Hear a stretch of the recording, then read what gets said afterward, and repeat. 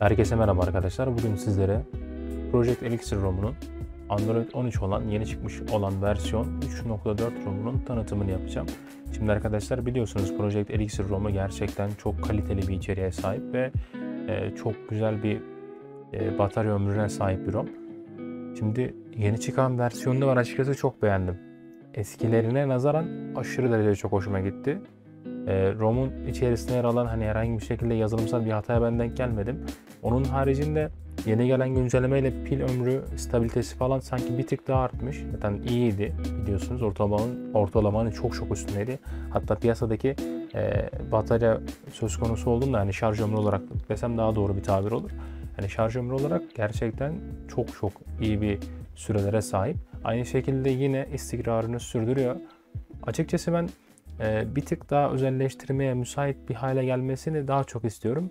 En basit olarak hani e, color e, şuradaki ikonların hani renkli olması taraftarıyım. Mesela e, şu an akıllı saatimin bağlı olduğu bir uygulamanın ikonu burada. Üstte şöyle bir ufak bir görüntü olarak görünüyor. Hani colored ikon olarak adlandığımız renklendirilmiş ikonlar gelse falan en azından hani daha tatlı bir görüntüye sahip olur ama şu anki hali bile çok çok iyi yani. Şimdi yeni gelen güncellemede Aralık ayının e, güvenlik güncelleştirmesi gelmiş. Her ne kadar hani Ocak ayı geliyor olsa da bir tık geç çıktı ROM. Geç çıkmasına nazaran hani dediğim gibi çok güzel ve çok kaliteli bir içeriğe sahip. E, onun yanı sıra arkadaşlar e, City Passet dediğimiz hani şey nasıl diyeyim size Megix'in sertifika olayı var arkadaşlar. Sertifikası geçerli olarak geliyor. Yani Device Update adı altında çıkan güncelleme bu. Hatta şöyle göstereyim sizlere. Özür dilerim. Böyle göstereyim arkadaşlar. Burada mi akıllı cihazlar için device update olarak gelen şeyler bunlar. Normal yazılıma gelen güncellemeler neler diye soracak olursanız arkadaşlar e, launcher'ın değiştiğini, daha güzel bir hal aldığını falan söylemişler. AppLock e, uygulamalar için tek tek, aplikasyon için tek tek arkadaşlar e, kilitleme olayının eklentisinin geldiğini falan söylüyorlar.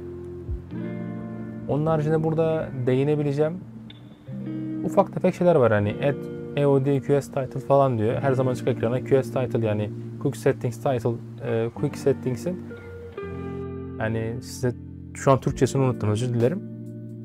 Ee, nasıl cidden şu an aklıma gelmiyor. Çok özür dilerim sizlerden. Quick settings dediğimiz hani kolay ayarların e, başlık bölümünün eklendiği diyeyim hani.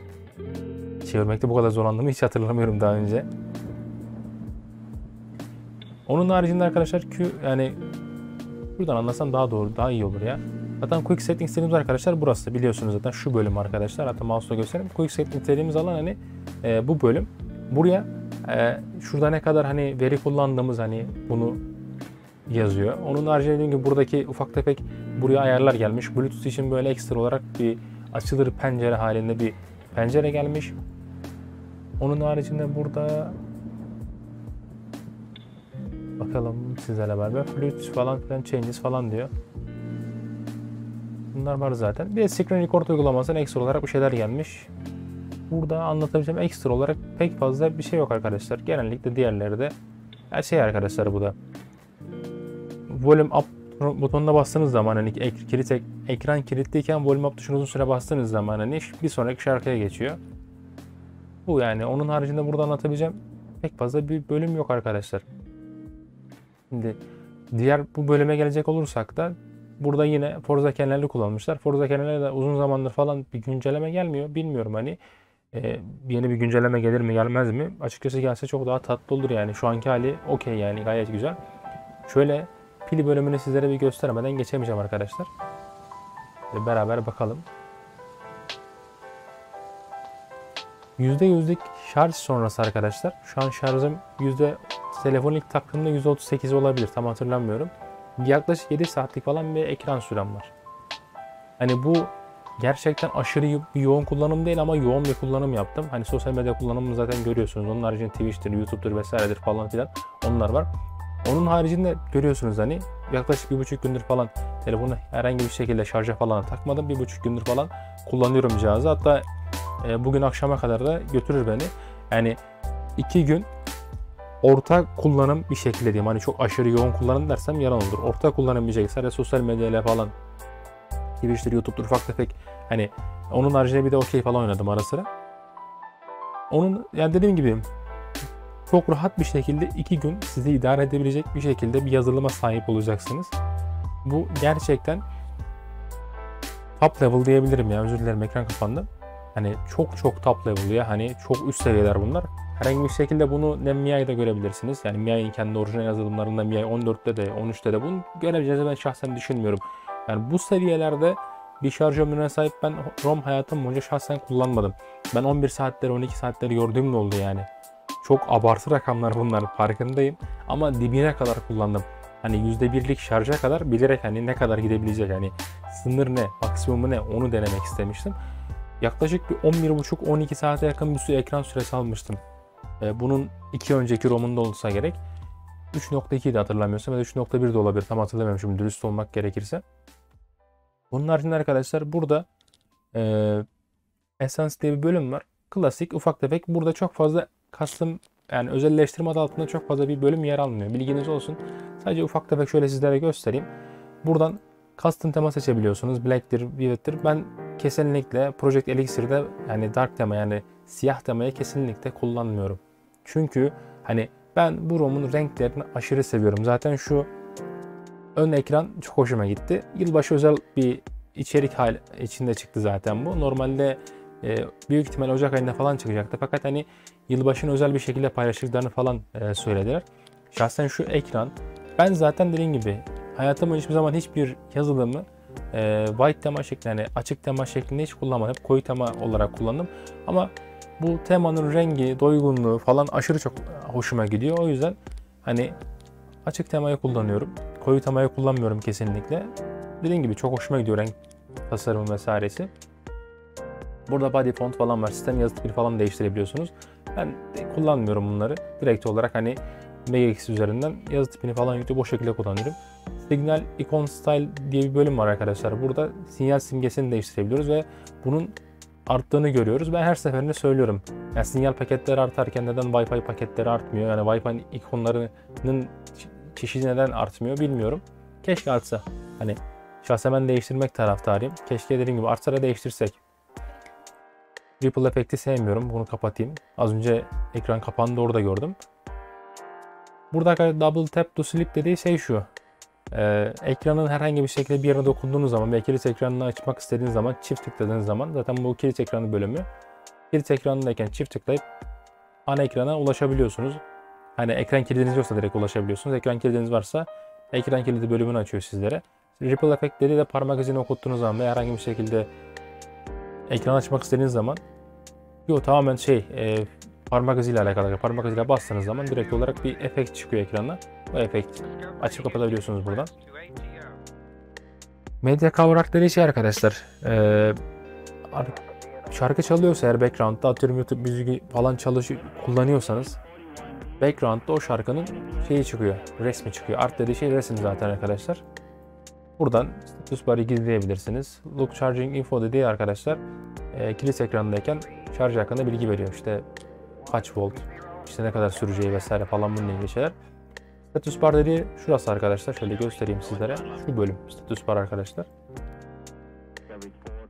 Aynı şekilde double tap status bar yani şu bölümü iki kere tıkladığınız zaman ekran kapanıyor. Icon Manager dediği hani burada hangi ikonların görüneceğini falan seçiyorsunuz. Onun haricinde Combinate Signal Icon dediği şey şu arkadaşlar. Atıyorum Wi-Fi ile mobil ağ aktifse hangisini kullanıyorsanız atıyorum Wi-Fi ile mobil ağ aktifse mobil simgesini gizliyor. Sadece Wi-Fi görünüyor. Bilginiz olsun. Ama bunu da yaptığınız zaman e, telefon bir git gel yapıyor sadece. Bilginiz olsun. Traffic Indicator dediği şey arkadaşlar hani bu ağız simgesini burada hani internet kullandığınız zaman veya dosya yüklerken, dosya upload ederken veya dediğim gibi sadece klasik hani dolaşım yaparken internette buna bir simge çıkıyor. Bunun nerede görüneceğini seçiyorsunuz. Onun haricinde hani e, kaç kilobitte falan hani ne kadar veri kullanırsa görünsün mesela bunu seçebiliyorsunuz. Display modları de hani e, bunu upload yaparken mi, dosya yüklerken mi, dosya indirirken mi vesaire hani hangi şekilde kullanacağınızı, o şekilde hangisini görünmesini istiyorsanız onu seçiyorsunuz buradan. Bu da hangi süre aralığında görünmesini, yenilenmesini istiyorsanız onu gösteriyor. Seçebilirsiniz oradan dilediğinizi. Onun haricinde burada e, saat ve tarih bölümü var. Buradan dilediğiniz gibi bu bölümde ayarlayabiliyorsunuz. Saatin fontunun büyüklüğünü, yazı tipinin, yazının boyutunu küçük ayarlayabiliyorsunuz. Buradan günü gösterebiliyorsunuz. Saatin saniyesini falan gösterebiliyorsunuz. Diğerleri zaten bildiğiniz ufak tefek şeyler ayarlar zaten. Batarya style dedi. Buradan e, belli başlı ayarlar var. Hani klasik şeyler bunlar. Circle dediği hatta şöyle tek tek göstermeyeceğim. Circle dediği böyle yuvarlak arkadaşlar. Hani buradan tek tek kullanabilirsiniz. Ben default'u kullanıyorum. Şimdi tek tek anlatmayayım. Videoyu boş yere uzatmayayım. Pek bir anlamı yok zaten. Bir de arkadaşlar burada e, şarjımızın ne kadar kaldığını nerede göstersin? Yani ikonun içinde mi, ikonun sağında mı veya gizlesin mi? Bunu seçiyorsunuz buradan. Onun haricinde Quick Settings serimi az önce anlatmıştım zaten. Quick Settings'in neresi olduğunu anlatmıştım. Buradan Blur Media Notification Artwork Background dediği bunu açabilirsiniz. Buradan ne kadar verinin kullandığını falan hani gösteriyor. O da şu arkadaşlar. Şu bölüm. Yani burada hani verinin ne kadar kullandığı falan filan yazıyor burada. Bilginiz olsun. Onu açıp kapatabiliyorsunuz. Ekstra burada özel isimler falan var. Swipe screenshot dedi. Yani 3 parmak hareket arkadaşlar bu. Buradan direkt olarak ekran e, fotoğrafını çekebiliyor. Double tap muhabbeti zaten direkt olarak görüyorsunuz. Ekran e, saatte yani kilit ekranındayken hani e, atıyorum hani şöyle söyleyeyim. Telefonun ekranını kapattınız. Bu açıkken olarak konuşuyorum. Kiliti tekrar parmak izini okutmadan direkt tıkladınız, ekranı açtınız. Önce sadece böyle ilk gördüğünüz siyah ekran gelecek. Sonra çift tıklayacaksınız. Hani öyle ekran gelecek. Sonra bir daha kilidi açmak için yapacaksınız. Bu pek hoşuma giden bir seçenek değil. O yüzden kullanmıyorum. Buradan e, sistemde hangi hareketleri ben hareketli gezinmeye kullanıyorum. Buradan isterseniz iki düğmeyi veya üç düğmeli gezinme hareketlerini falan da kullanabilirsiniz. Ekstra olarak bunları buradan özelleştirebilirsiniz. E, back gesture haptic dediği arkadaşlar hani e, geri yaptığınızda veya herhangi bir şekilde hani şu ekranın şu bölümünden geri falan yaptığınızda titreşim açsın mı açmasın mı bunu falan yapıyor. Full screen gesture dediği de e, şu alttaki arkadaşlar bu oku kapatıyor. Hatta şöyle göstereyim sizlere. Telefonu tamamen full screen kullanmanızı sağlıyor bu şekilde. Ben dediğim gibi altta şöyle şunun görünmesi benim şahsen hoşuma gidiyor. Tabi bu tercih meselesi. İster kullanırsınız ister kullanmazsınız. Bu tamamen sizlere bağlı bir durum. Ee, burada zaten volume up tuşuna özür dilerim. Volume down tuşuna bastığınız zaman kilit ekranındayken e, kamerayı hızlı bir şekilde açıyor. Ben bunu da kullanmıyorum. Bazen çünkü cebimde falan şey oluyor. E, parayla falan sekişiyor. Açılıyor falan kendiliğinden. Bu arada ROM'u kurduğunuz zaman arkadaşlar bu kısmı değiştirmeniz gerekiyor. Çünkü dijital asistan seçili oluyor burada. Direkt ayarlar bölümüne girip buradan bunu güç menüsü seçeneğini almanız gerekiyor. Yoksa diğer türlü telefonu yeniden falan başlatamazsınız. Bilginiz olsun. E, ROM hakkında arkadaşlar genel olarak anlatabileceğim şeyler bunlar. Hani bir kullanıcı olarak da e, şöyle söyleyeyim. Gerçekten Project Elixir ROM'larını şimdiye kadar çıkarmış oldukları en sevdiğim versiyonu bu. Şu an piyasadaki en iyi ROM diyebilirim. Bunun için tüm samimiyetimle söylüyorum. Zaten ben Project Elixir ROM'unu ne kadar çok sevdiğimi her defasında üstüne bastıra bastıra söylüyorum. Şahsen dediğim gibi ben ROM'u çok beğendim. Ee, kullanacak arkadaşlar zaten sürekli olarak bana soruyorlar abi işte pil ömrü olarak, oyun performansı olarak falan hangisi e, daha iyi, hangi ROM'u önerirsin vesaire falan diyor. Dürüst olmak gerekirse oyun çok fazla önemli birisi değilim. Fakat hani ufak tefek oyunlar oynuyorum yani ben sadece. Öyle 101'de TFT'de falan oynuyorum ben. Çok fazla hani dediğim gibi FPS gerektiren oyunları telefondan oynamıyorum yani çok hoşuma gitmiyor çünkü beceremiyorum daha doğru dürüst olmak gerekirse. O yüzden e, yazılımsal olarak arkadaşlar ve şarj ömrü olarak ROM gerçekten harika. Hani ben şahsen e, kullanmanızı tavsiye ederim. Buraya kadar izlediyseniz çok teşekkür ederim. Video hoşunuza gittiyse videoya like atmayı, hala kanalıma abone değilseniz arkadaşlar abone olursanız çok sevinirim. Hepinize izlediğiniz için tekrar teşekkür eder. İyi günler dilerim.